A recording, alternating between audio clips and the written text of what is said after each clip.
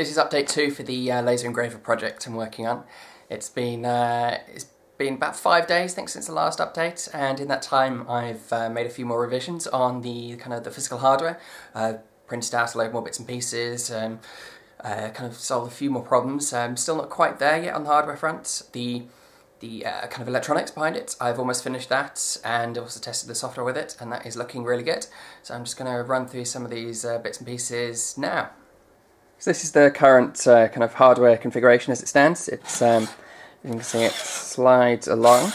It isn't that much different from last time, but uh, most of these parts, or pretty much all of them, have been reprinted and optimized in that time.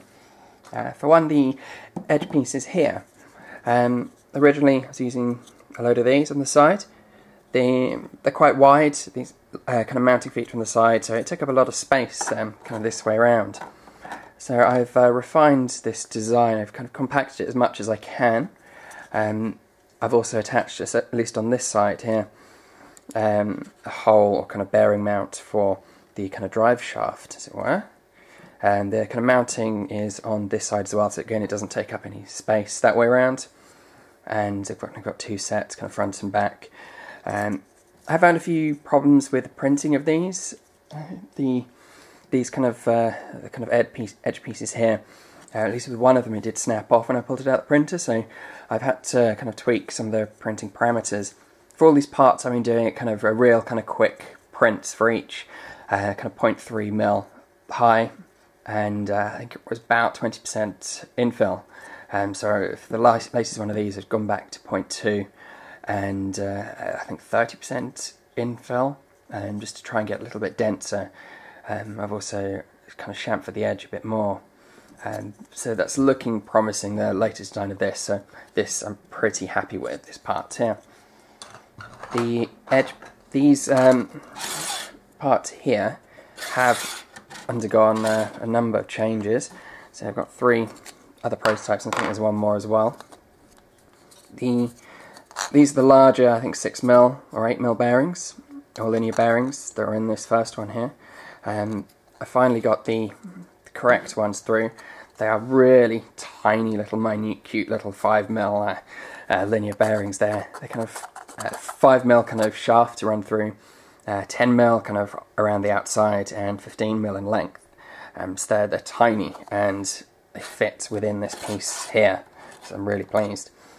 The At the moment I've got um, two in this one here. This is still running the, the original kind of larger bearing, so it wobbles a bit. These other ones are quite smooth.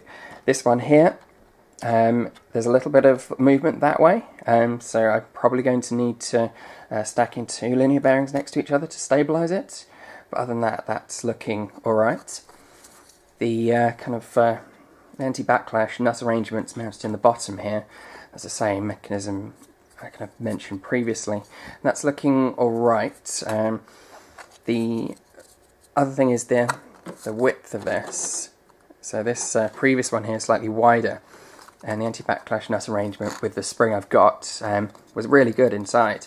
But for this one here I'm just trying to reduce it down so I knocked off a couple of mil each side and that's uh, kind of compressing the spring a bit more, increasing the tension and it's made this uh, really, really stiff to rotate. So I'm probably going to go back to slightly wider design that would accommodate the original uh, spring setup.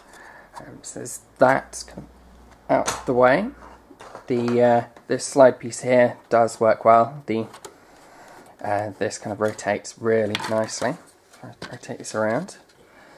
So this isn't fixed at the moment. So the motor would go here and rotate this, and it then moves along. The laser diode then mounts this platform here. So the diode here will attach and then move along and then back and forwards like so. this is the, the back of the board. I'm probably going to have a motor mounting here. And the this length here is a little longer than I need, so I'm probably going to drop this back a little bit. Uh, room to kind of accommodate uh, the motor there.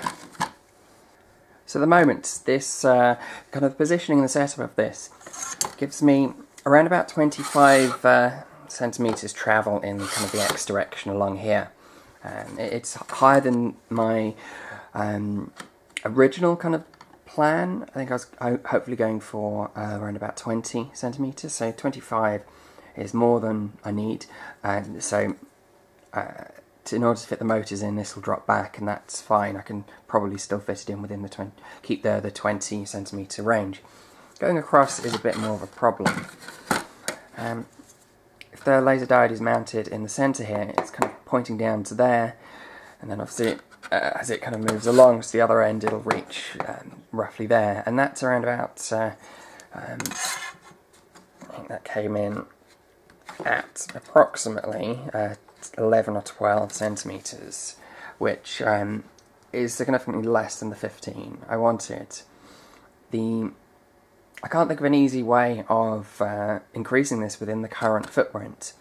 These side rails here, I could potentially alter the orientation, have these bars, um, they're the kind of the shafts vertically mounted, um, which would free up a little bit of space, but I'm quite far down the line now with this layout here. I don't really want to start backtracking on that. Um, so I might uh, end up having to increase the width of this. So in the end, it'll probably end up being kind of close to a, a square uh, frame. Um, I don't think that's too bad. I'm going to take a look how it fits on kind of a shelf where eventually it'll need to go somewhere. So as long as it's not too big, then that shouldn't be a problem.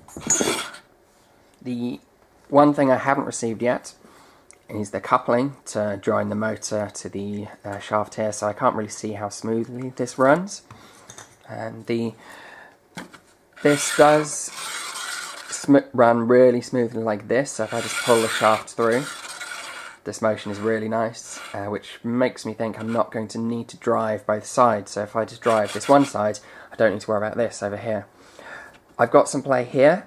Um, there are a couple of reasons for that. I mean, one, these uh, kind of linear bearings in here, they're not the right size, so it's not hugging the rail as it should, um, which gives it kind of room to kind of flex and move.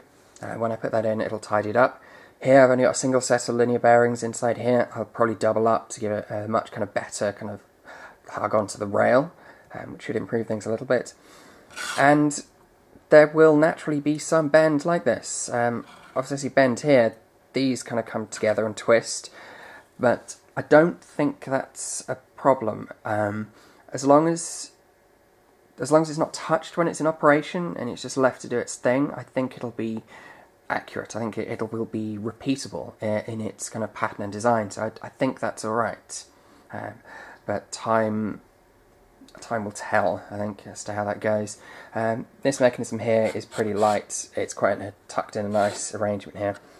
And um, apart from a little bit of uh, kind of twist like that, which I think which can be easily solved by putting in more bearings, that mechanism is fine. This is their main electronics board. Um, this uh, pretty much works as it stands. There's a few more tweaks to some of the connectors down here and a couple of more LEDs to put in. But other than that, it functions, and I've had it running with um, a stepper motor, and it, I can drive it from the computer. This runs the grbl kind of open source software, which you just kind of feed G-code commands, and it translates it as it needs and outputs it. So there's kind of two stepper motor connectors on there, the limit switches for each. Um, down here, kind of the laser output and some uh, switch kind of contacts for uh, some buttons placed somewhere on here. Uh, there's going to be two power inputs, uh, 12 volts for the steppers and another 5 volt supply for the electronics.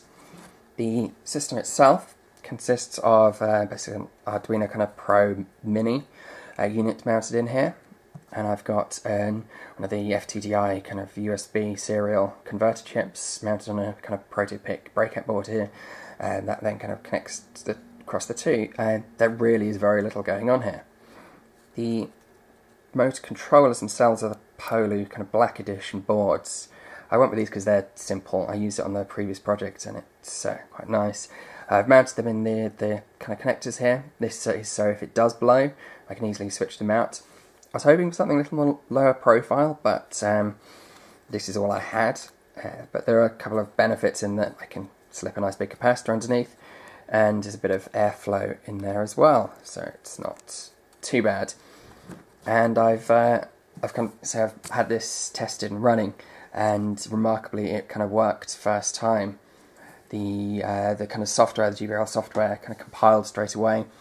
And then uploaded straight to the board using the uh, bootloader that's already in there. So um, this setup is really nice. Obviously, there's a lot of config settings which have to be tweaked and set up for my arrangement, but I'm still some way off that at this stage. The power of this laser engraver is going to come from these two units here. I'm going to need uh, 12 volts for the steppers and kind of really shifting them around, and I need 5 volts for the electronics. The laser diode um, depending on what option I go for at the moment, it would run a 5 volt quite happily. But if I do get hold of a higher power unit or a different type of laser, then hopefully uh, 12 volts will be suitable for that. So both of these units are overrated. The 5 volt unit is um, it's a Traco power module, exactly the same as I used on the uh, bed project I worked on recently. Uh, it's uh, 3 amps, 5 volts, really lovely little unit, it just does its thing. And this one, slightly different, uh, but basically the same thing. And this is uh, TDK Lambda, I believe. Uh, yeah, um, it's 12 volts at 6 amps, I think it was. Yes, 12 volts, 6 amps, uh, regular mains input, same kind of outputs. Um, and it is going to get very, very overrated. Uh, the motors at absolute maximum will be 2 amps each. Um, so that gives me an extra couple of amps in there um, for whatever that needs it. And uh, these can be mounted quite happily and fed into the main electronics board.